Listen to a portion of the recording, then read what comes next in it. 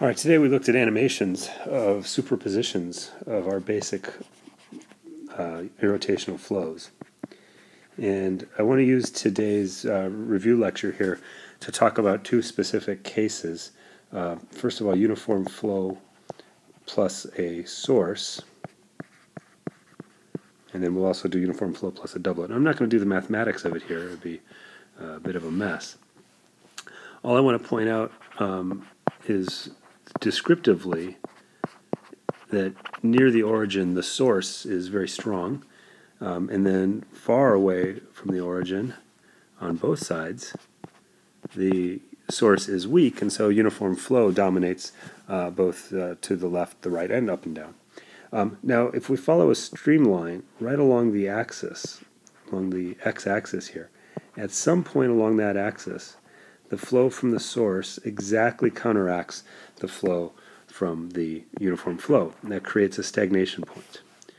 Stagnation points are defined by both components of velocity being zero. So ur equals u theta equals zero. Stagnation points are interesting because they define a particular feature in the flow. We know that this stagnation point is convergent in the x direction, which means it has to be divergent in the y direction by mass conservation. If we follow that streamline as a contour of the, of the uh, stream function, that streamline will head off towards uh, x going to plus infinity uh, with a pattern like this.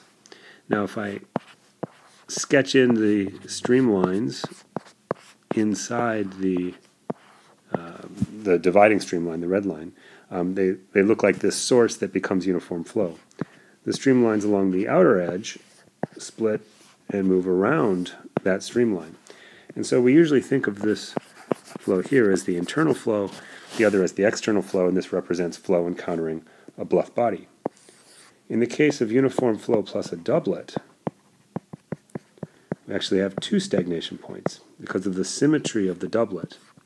So near the origin, we have this crazy figure eight pattern that is uh, directed in the negative x direction, both uh, to the to the left of the origin and to the right.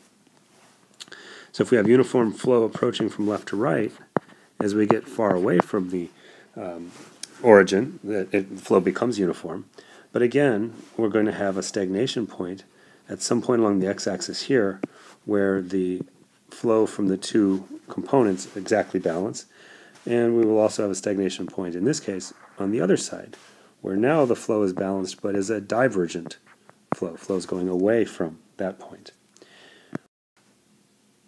If we have a convergence in x, we have to have a divergence in y. If we have a divergence in x, we have to have a convergence in y. It turns out that mathematically we can show that there's a streamline that is a circle. And that circle um, has streamlines that follow from left to right, going from one stagnation point to the other stagnation point. Inside that circle, flow looks like a doublet. That's our internal flow and usually is not of particular physical interest. Outside, we have the streamline that terminates at the stagnation point, but then the adjoining streamlines split and go around in a symmetric way. I didn't draw that very symmetric. The circle. And so what this represents is a cylinder in crossflow, uh, where there's a, a symmetry between the leading and trailing edges. Now this is irrotational flow, which means no boundary layers, no friction. When there's friction, the flow changes, and that's when uh, wakes appear, and that's when drag forces appear. But for now, we have this very symmetric flow representing ideal flow around a cylinder.